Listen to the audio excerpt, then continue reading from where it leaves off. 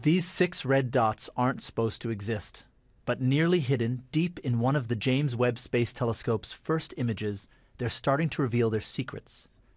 They might be whole galaxies, as large and mature as our own Milky Way.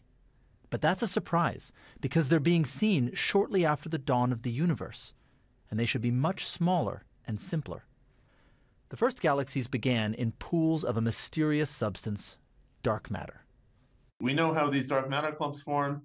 We know that normal matter should follow them. We know the ratio at which dark matter and normal matter exists as part of our standard model.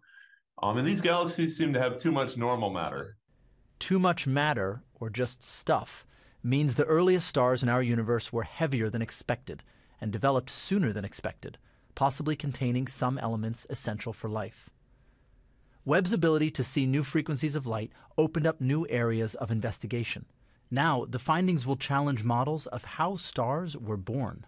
I expect when the dust settles, when we get follow-up observations, when we get more, when we get better data, we will we will probably find that cosmology is the same, and that uh, there's something else going on in these systems that we don't understand. Some combination of stars forming really early, galaxies forming way faster than we expected, um, and maybe some uh, exotic physics that, that aren't currently in our current models. Even if each is a galaxy like our own, all we can see are 20 or 30 pixels in the darkness, just enough to imagine worlds.